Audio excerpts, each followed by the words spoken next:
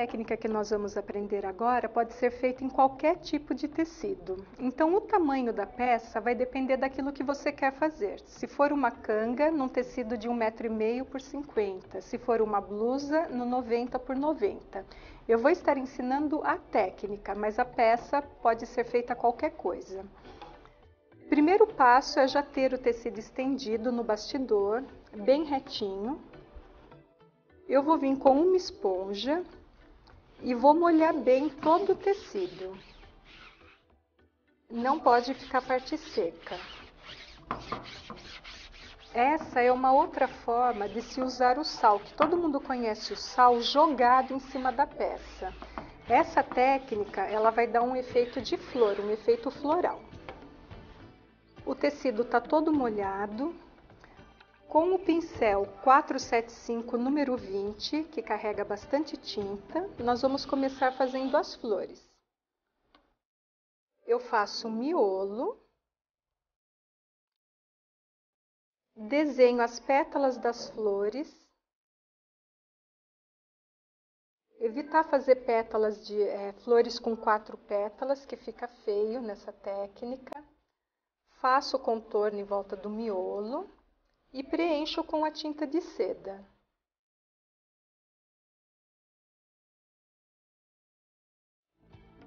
Completo com tinta essas pétalas, não precisa ser uma coisa bem certinha, porque o sal vai espalhar essa tinta.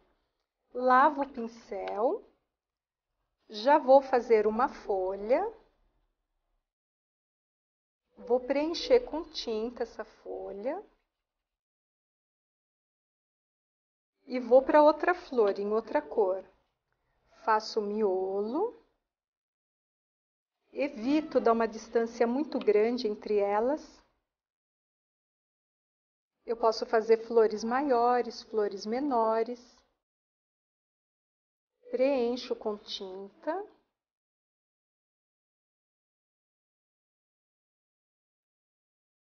Vou lavar o pincel pegar o verde para fazer outras folhas e preencher com o verde.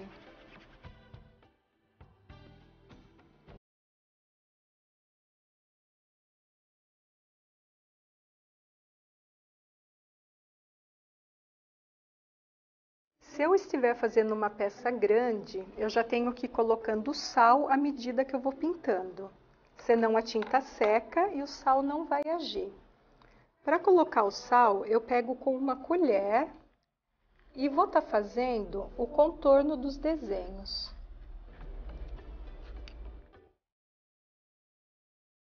Faço os desenhos de todas as pétalas, deixando um pouquinho de tinta do lado de fora do sal, para ela correr. Se cair um pouquinho de sal no meio das pétalas, pode deixar que fica bonito, dá um efeito diferente.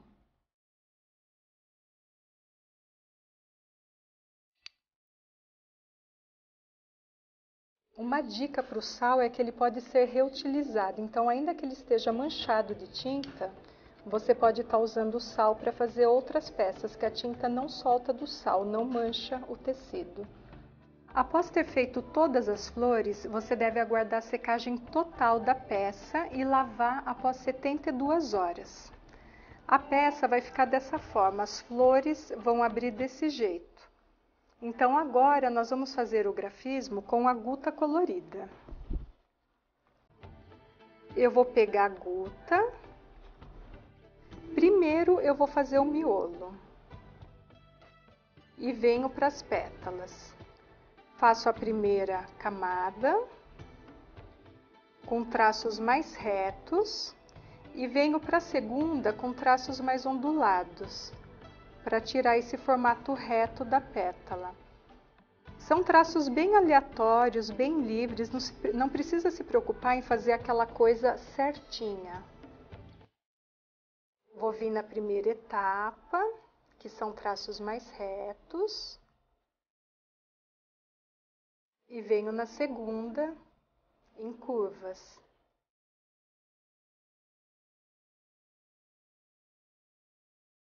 Faço a folha, Após a pintura estar toda pronta, tem que seguir as instruções da embalagem e fixar a guta colorida, que é esse contorno preto com ferro de passar. Se você fez uma canga, fazer o acabamento com o overlock, né? Com a máquina de costura, você manda para uma costureira e ela passa para você. Se você for fazer uma peça de roupa, costurar a peça de roupa e a sua peça vai estar tá pronta.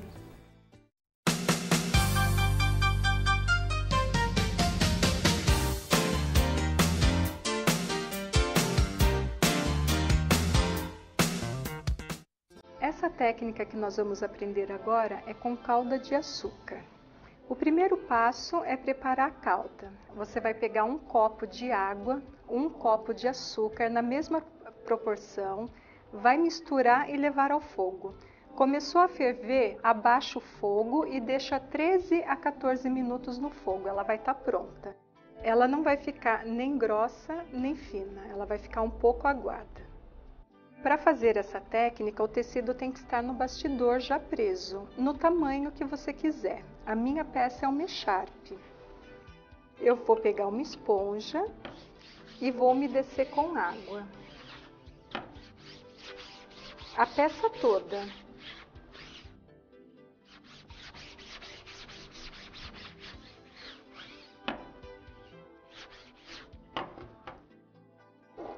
Eu vou pintar com as cores desejadas, usando o pincel referência 483 da Condor, que é com cerdas pelo de pônei, que ele carrega bastante tinta. Se você for fazer uma peça grande, você pode usar um pincel maior. Após a peça estar toda molhada, eu vou aplicar as cores desejadas. Eu vou fazer manchas aleatórias, usando as cores que eu quero. No meu caso, eu usei o amarelo cádmio,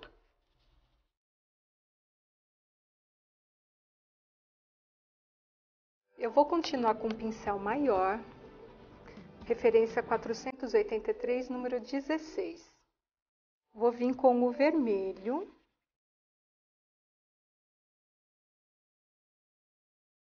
Não precisa se preocupar em, em, colocar as cores certinhas, que a calda de açúcar ela já vai deixar o tecido manchado.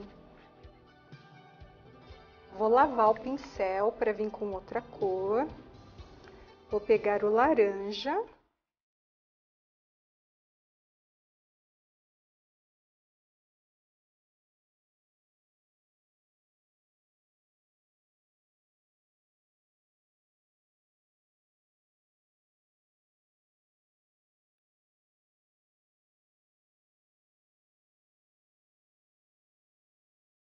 Vou lavar o pincel.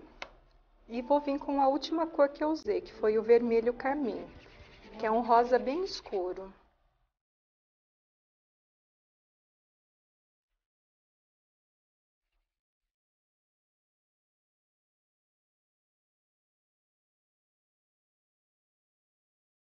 Vou lavar o meu pincel novamente e com ele seco, eu vou fazer uma pequena integração das cores.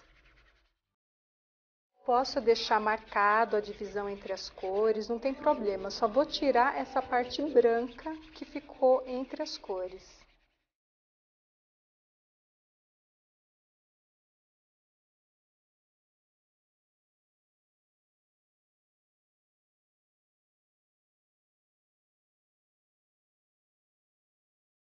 Feita a junção das cores, eu vou começar a aplicar a calda. Para isso, eu vou pegar o pincel 475, número 20, que é o pincel com a cerda orelha de boi, e vou aplicar a cauda em pequenas vírgulas. A cada vírgula que eu for fazer, eu tenho que vir e tenho que pegar a cauda. Se você não colocar esse excesso de cauda, a pintura não vai abrir tem que ter esse excesso de calda em cima da tinta. E a mesma coisa se você estiver fazendo uma peça grande. Se você estiver fazendo uma canga, tem que ir fazendo por etapas. Pinta, coloca a calda, pinta mais um pouco e vai aplicando a calda, que ela só vai agir em cima da tinta molhada. Se a tinta secar, ela não vai ter efeito nenhum ela imediatamente ela já começa a abrir, olha, ela já começa a dar o efeito dela nas vírgulas que são feitas. Se quiser fazer pequenininha, pode fazer. Se quiser fazer maior. O efeito final da cauda é este daqui. Ela abre empurrando a tinta. Você deve aguardar a secagem de 72 horas para daí lavar a peça. E fazer o acabamento final, que é o acabamento com overlock na ponta que a sua costureira pode estar fazendo.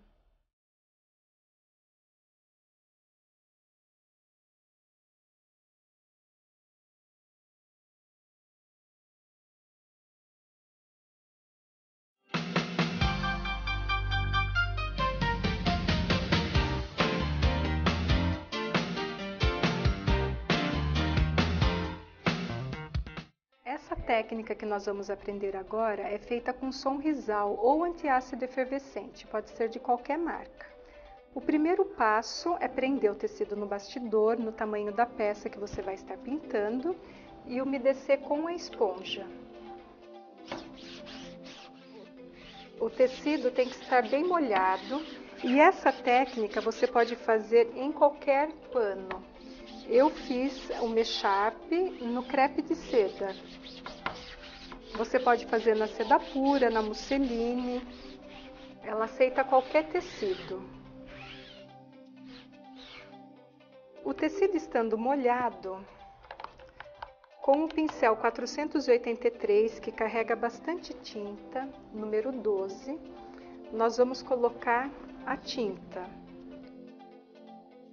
Vamos começar da clara para a escura. Essa daqui é o azul caribe, que nós vamos aplicar assim em pequenos círculos. Já vou fazer um outro aqui.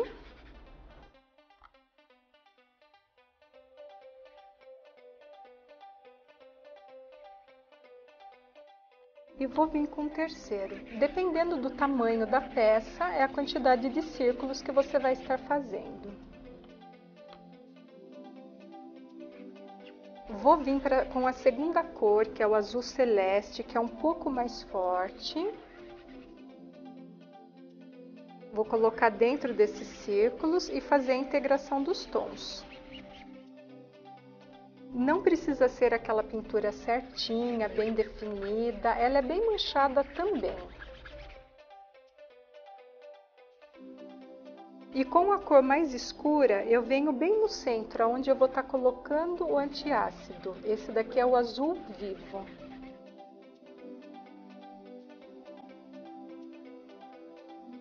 Se você não quiser deixar o fundo totalmente branco, você pode colocar o azul caribe, que é o azul mais claro, nos intervalos dos círculos.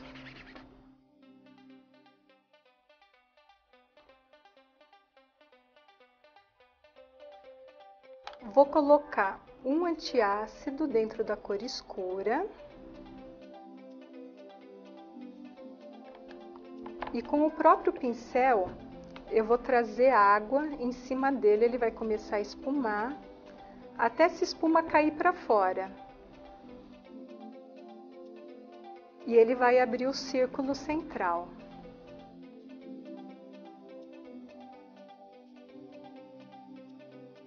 Bastante água, olha que eu tenho que colocar até ele fazer essa abertura. Na volta, eu posso jogar um pouquinho de sal grosso para dar um segundo efeito. Nos outros espaços, polvilhar sal grosso, mas sem colocar perto do sonrisal, só nas voltas. Uma dica para essa técnica ficar mais bonita é quando a tinta está quase seca, você pode estar tá vindo com o pincel e molhar novamente o sonrisal, que ela vai abrir mais um pouquinho, formando um segundo círculo. Então tá quase seca, eu posso vir com o pincel e novamente colocar água em cima do sonrisal, que ele vai agir mais um pouquinho e vai formar um novo desenho em volta. Ele vai abrir novamente. Mas isso quando a tinta já está quase seca.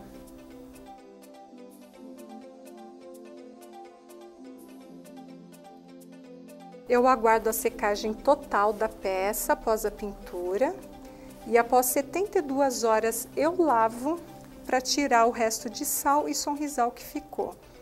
Tiro a peça do bastidor.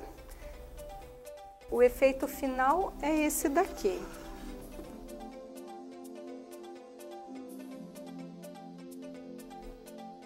Faço o acabamento com overlock, né? Peço para uma costureira fazer esse acabamento para finalizar a peça.